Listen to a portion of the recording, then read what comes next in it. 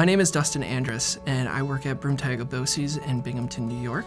I work with 20 different school districts on integrating technology more efficiently and effectively into classrooms, and I work with administrators on strategic planning of instructional technology initiatives.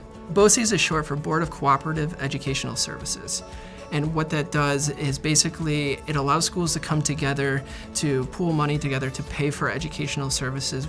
So we don't want our schools working in isolation from each other, but we're giving them a platform in which they can cross-collaborate. And that's how we really talk about the value of Schoology and really talk about what is, what is the impact in the region. And it's really this collective idea of being able to share ideas and connect schools that were not previously connected before. My name is Rachel Murat. I am a teacher and tech integrator at Maine High School. I currently teach AP Government and Politics, which is a college level class, economics, U.S. history, um, digital citizenship, and a Google Suite course. I use Schoology for all of my classes every single day. That is how they access everything that we're doing in class. That's how they know what is they're responsible for. It's on the calendar. That is where their online assessments are. That's where their digital formative assessments are housed so that they can link to them.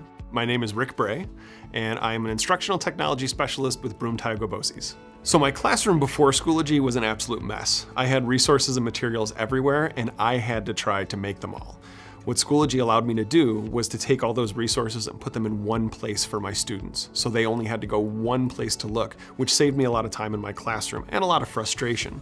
The other thing is it allowed me to connect with other educators, look at the resources that they created, and use those in my classroom, maybe tweak them if I need to, but through that sharing process, I gained a deeper understanding of what was happening, and I think that everyone in the process made a better result. So I think Schoology does add a lot of value to classrooms in the sense that it simplifies a lot of things for me. Uh, the, the value that it brought to my life was in terms of organization.